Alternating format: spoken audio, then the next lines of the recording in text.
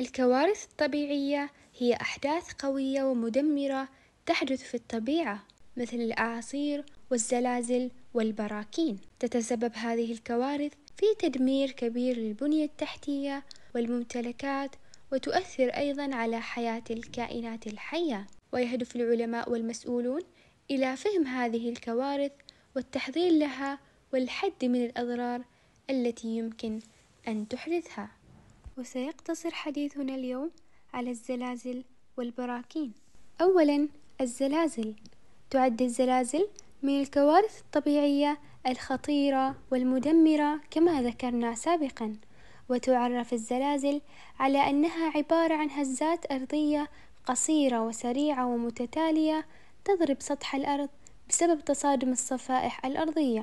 كما يوجد مقياس خاص للتعبير عن قوة الزلزال يطلق عليه مقياس ريختر الذي وضعه عالم الزلازل الأمريكي ريختر عام 1935 ميلادي. وفي هذا المقياس درجات متعارف عليها عالميا توضح كل درجة الآثار الناجمة عنها. فعلى سبيل المثال عندما تكون قوة الزلزال أقل من 3.5 تشعر به أجهزة قياس الزلازل فقط ولا نشعر به نحن البشر. أما عندما تكون درجة الزلزال بين 3.5 إلى 5 درجات يشعر به الفرد وتتأرجح الأشياء المعلقة كما تتمايل الأشجار.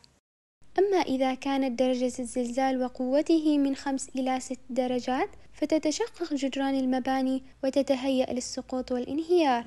لذلك يا أصدقائي علينا أن نبتعد عنها. وتنهار المباني وأغصان الأشجار عندما تكون درجة الزلزال من ست إلى سبع درجات حسب مقياس ريختر. بينما تنهار الجسور وتتكون تشققات في الأرض عندما تكون قوة الزلزال من سبع إلى ثمان درجات. وفي حال كانت قوة الزلزال أكبر من ثمانية فيكون الزلزال قد أدى إلى دمار شامل.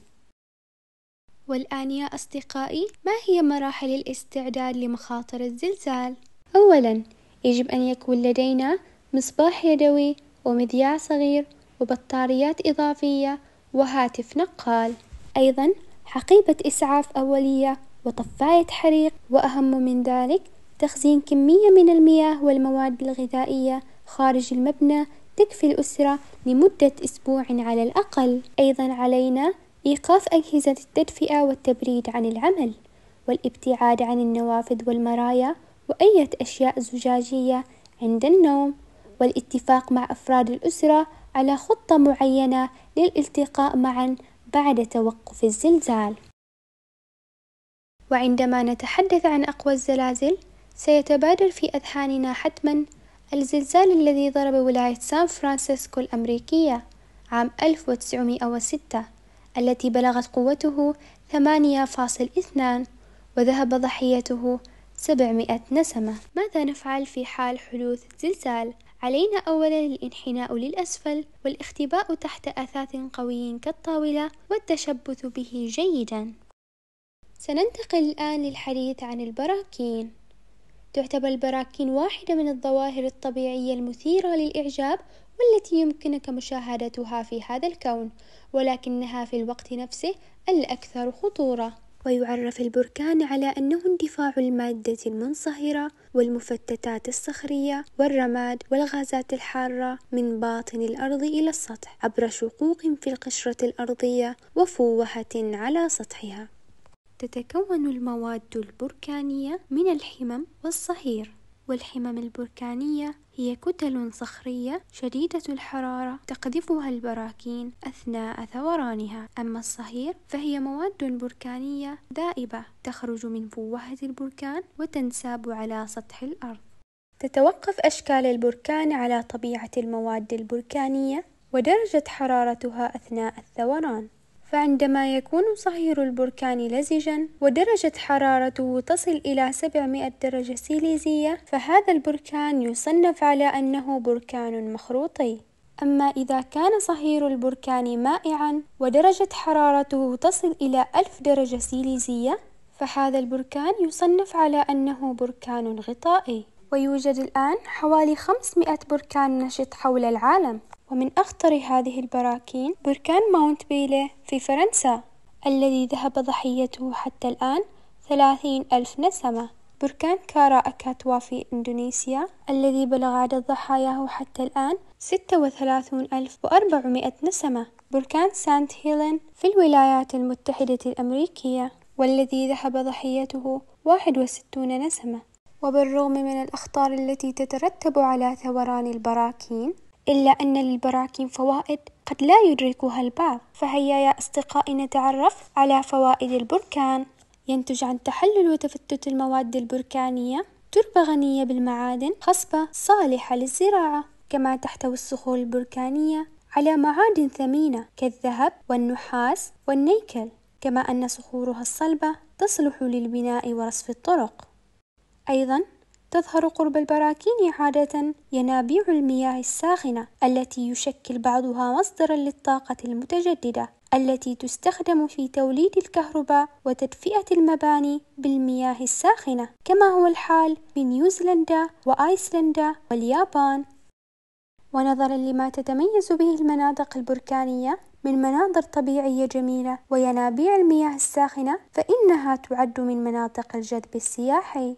ورغم مشقة الطريق إلا أن السياح من جميع أنحاء العالم يمشون كل تلك المسافة آملين أن يخوضوا تجربة مشاهدة الحمم البركانية المتدفقة من أحد براكين أيسلندا. أصبحت باردة وكأن البركان لا يريد التصرف كيفما يرغب السائحون وكأنه يخبرهم أن يبقوا على مسافة آمنة وأن لا يخاطروا في الاقتراب. يمكنك أيضا أن تستقل هليكوبتر. إذا رغبت في النظر إلى فوهة البركان بشكل أوضح عندها تستطيع رؤية مشاهد رائعة للغاية.